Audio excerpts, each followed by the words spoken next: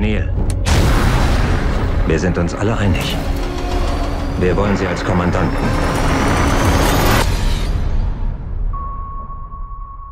Sie fliegen zum Mond. Der erste Mensch auf dem Mond. Das wird ein Ding. Bist du sicher? Es wird ein Abenteuer.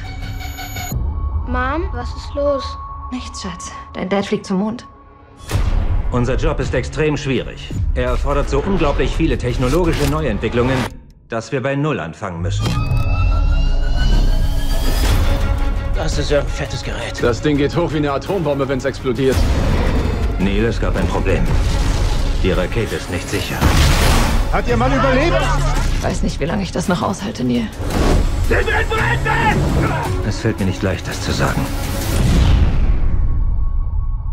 Sie sind tot, Neil. Wir müssen unsere Fehler auf der Erde machen, nicht da oben. Und der Preis? Ist jetzt ein bisschen spät für die Frage, finden Sie nicht, Sir? Neil?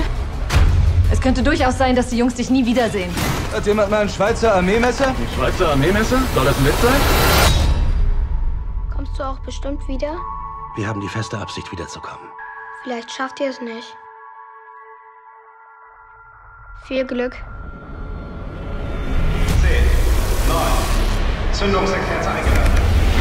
6, 5, 4, 3, 2, 1, Start!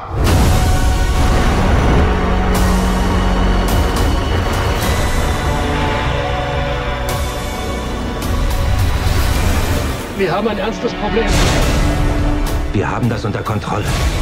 Ihr habt nichts unter Kontrolle.